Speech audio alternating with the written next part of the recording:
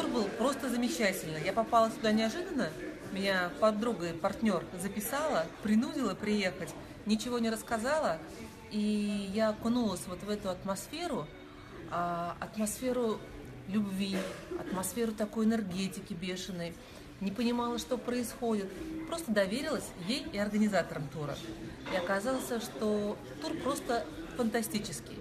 У меня, в общем-то, не было ожидания, хотя я как-то планировала все-таки паэлью попробовать, сангрию выпить. Ну, ни того, ни другого мне сделать не удалось.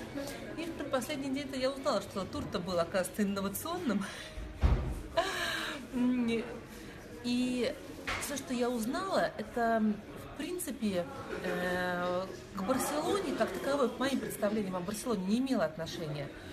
Э, пожалуй, здесь, что меня впечатлило, организаторы говорили о мировых трендах, говорили о направлениях, куда мы двигаемся, говорили о том, а, что можно почерпнуть нового, интересного, не только и не столько даже испанского, а что некого глобального.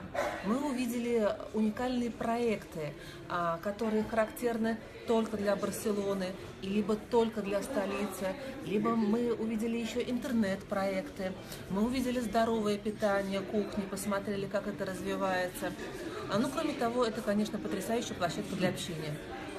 А, столько интересных людей, и была минутка поговорить с каждым.